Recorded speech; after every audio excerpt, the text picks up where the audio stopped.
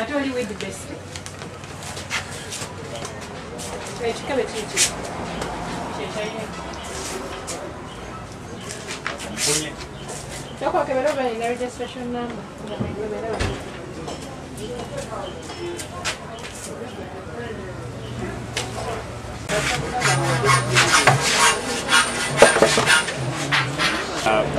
This this process is, uh, is aimed at one, trying to map out and see uh, where the, the, the, distribution of our wind dealers, uh, their level of uh, compliance in terms of who are registered, who are not registered, and then what's on the market.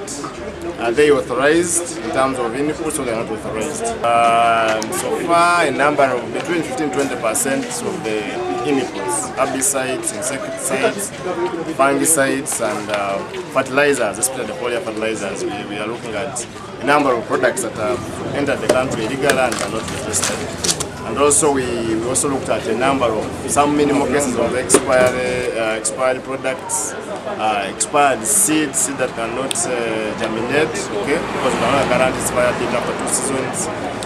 And then uh, we also looked at uh, some few cases of uh, uh, tampering with the labels.